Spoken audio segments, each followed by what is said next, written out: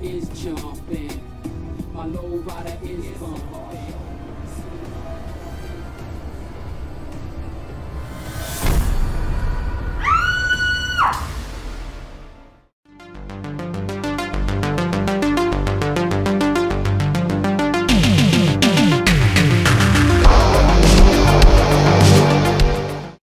We are talking 616 Wilford Lane. Now, this one is directed by Mark S. Allen and Dante Yore. And this one stars uh, John Littlefield as Jim, who is a grieving husband after the death of his wife. And he and his two teenage daughters, uh, to get over the, the grief, they are moving house and they end up buying this massive kind of uh, property, a huge property. And we learn through a bit of uh, kind of the intro at the beginning, there seems to be a murder suicide at this uh, particular particular um, property that may well have been the result of some type of possession, possibly at least. Anyway, and as this family then move into this house, we see kind of strange kind of things happening. Um, the kind of local residents, including Eric Roberts, who is the local mayor, wants to kind of like hush things up because he doesn't want to kind of detract from the property values, things like this. This movie is uh, is a quite a twisty film. There's a whole lot kind of going on. What will happen? You have to watch the movie to find out. This is quite a hard movie to review because the premise seems somewhat simple, but there's actually a lot going on in this movie. Um, First of all, let's talk about what I think works in this movie. I have to say, our trio of central characters, uh, the father played by uh, John Littlefield, and then his two daughters, um, first of all, Stacey, who seems more of the sensible kind of type, uh, played by Alice, Alyson Gorske, and then you've got um, Randy, who's the kind of the more impetuous, kind of hot-headed, sexually charged daughter played by Jessica Chancellor. And I really enjoyed their interactions. I thought they made a, a, a quite a interesting um, sort of family dynamic that as you watch the movie as a whole, you'll, you'll understand is, is quite complex. And uh, I just thought all of those three actors did a really good job of, of selling you on um, having three very different types of characters, but also three people who have a bond and how that kind of bond changes through the movie. I thought they all did a they did a great job, to be honest with you, of really having um, three characters who are quite interesting and and well acted and I, and I kind of like I was engaged in all three of their their kind of the characters and the relationship as a trio I thought was very strong uh, so that was that was quite good. The, the horror in this movie as well is quite subtle, um, and I quite liked it. Now it's obviously a lower budget film, and when we kind of see stuff on screen, it's quite subtle, and I think even to the point where sometimes it will go unnoticed. Now we we, we actually have some footage within the movie that is viewed through security cameras. Now it's not a found footage movie, this one. However, there are scenes where um, there, there, there are sequences via the security cameras, and it will remind you of paranormal activity. And I thought that was kind of quite good. And it was, and again, there's stuff that's happening on frame here that seemed quite good and kind of like, um, you know, it, it was quite subtle. I think it, it worked well. You could have really got notice things first of all because some of the kind of security footage is quite fuzzy so you don't always necessarily see stuff happening but it is happening at times as well.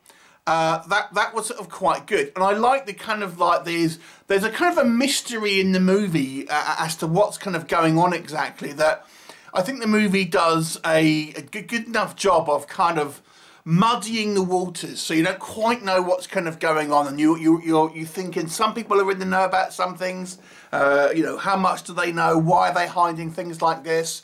Uh, the, the, the realtor for example the, the, the next door neighbour played by Eric Roberts um, you know how much are they involved and things like that. I thought it was all quite good or quite an in, intriguing uh, movie to, to, a, to a certain degree. Um, now we get to towards the end of the movie without kind of going into spoilers here and we get to not the not the sort of final sequence, but the, the one before that. Had it have ended there, I would have given it a 7 out of 10, right? Uh, I don't want to say what it is, because obviously I don't want to kind of spoil it uh, phone call. But the, the, the, conclusion of the, let's call it the house story, uh, I actually thought if that had ended there, that would been quite a unique way of ending this kind of movie. And again, it's this movie is very hard to kind of uh, critique in some ways because it's so the ending is so um, important to this film. It's a lot of it will, a lot of what I think about it will come from the ending. Without having to tell you, it's difficult. But suffice it to say, this kind of movie almost has two two endings. And had it stopped at the first one, I thought it would have been um, it, maybe not as twisty, but uh, it, I think it would have been different enough to make it kind of like quite a good movie in that respect. So let's move on to what didn't work for me. So there's there is a kind of like as I said, there's two endings, and again, I'm trying not to be uh, to kind of give you any spoilers here. The finale, the, the final sequence, which is an actual fact, has a it's actually kind of two sequences to be honest with you, but um, that to me kind of undermined the film. It was clever and unique to a point, but it didn't make as much sense as, it, as I, think, I think the movie thinks it does because there's sequences within the film as a whole that when you think back and look, things like private conversation, sequences that happened, things that we see as a viewer, it doesn't make sense as to uh, what the, the finale presents us with. That's all I'm really going to say. That's all I can kind of uh, say without kind of really spoiling it for you here. But suffice it to say, I think the movie, had it ended at a certain point, would have still had quite an a unique ending, but would have let, would have been a lot more ambiguous as to what's as what's going on.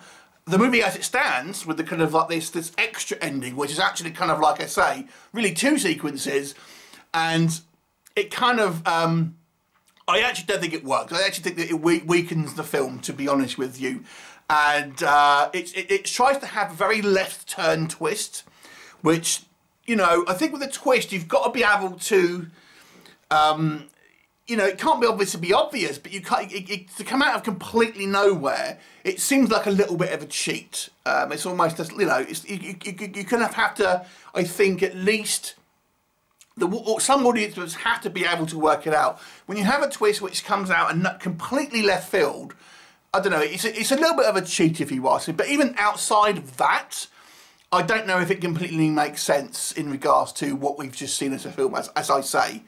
So it didn't work on a number of levels, although, although I will say it is it makes the film a very different uh, film to what you think you're going to watch. Um, outside of that, what can I say? Maybe that uh, well, it didn't work. Initially, I was going to say that I think the um, the two daughters were a little bit cast a little bit too old to be teenagers, and it's that critique still kind of holds up. To be honest with you, um, if you are to you know, be believe the kind of the, the, narrative that the movie presents it with, although the film actually does kind of have an explanation for this.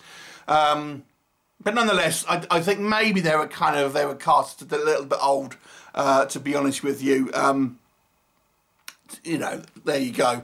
Um, the film ultimately is quite slow. Um, there is a a sense that you're kind of wanting for a little bit more to happen and it kind of just to kind of like the pace to pick up just a little bit as the movie progresses. Now, again, there is a reason for this, um, and I actually do appreciate the uh, the story that movie, this movie is trying to tell, but I do think sometimes it it kind of labours on scenes a little bit too long from here and there. So, this film is a difficult one to review because without obviously giving you spoilers, I can't really uh, tell you too much about the uh, what I think about the film as a whole. Suffice it to say, it's a very interesting film in a lot of ways. And I feel it may be uh, kind of overlooked as just another kind of like a haunted house movie, when in actual fact this movie actually offers a little bit more.